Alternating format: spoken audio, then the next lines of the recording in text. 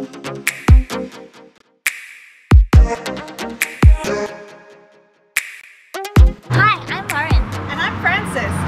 to Pole Divas Reservoir. Come on through, we'll show you around.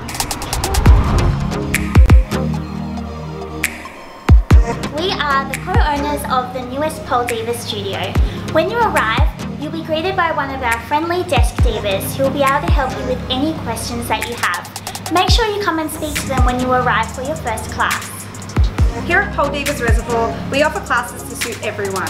We have pole dancing classes, strengthening, stretch and dance classes. So we've got the perfect class for you to take your fitness to the next level. Want to see what the studio looks like? Follow us.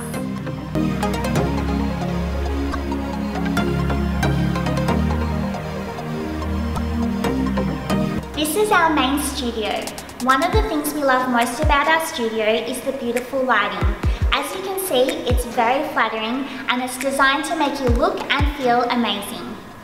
Here at Pole Divas, we specialise in classes for beginners.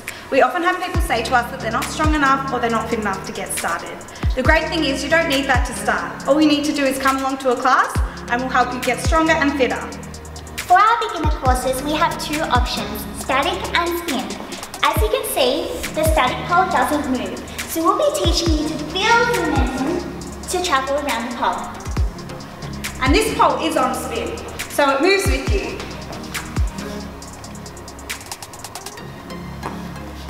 Let's continue with our tour.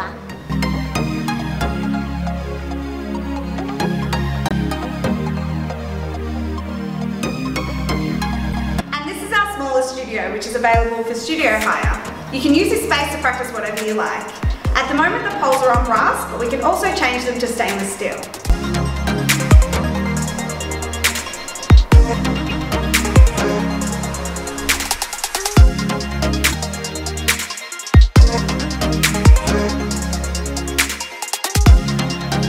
Wondering what to wear for your first pole class?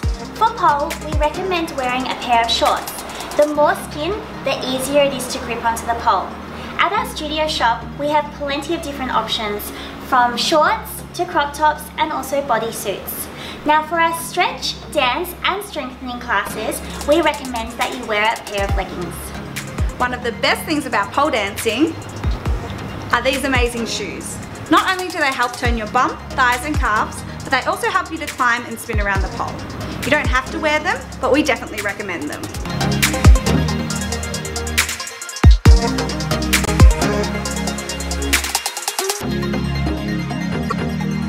Thank you for visiting us at Pole Divas Reservoir.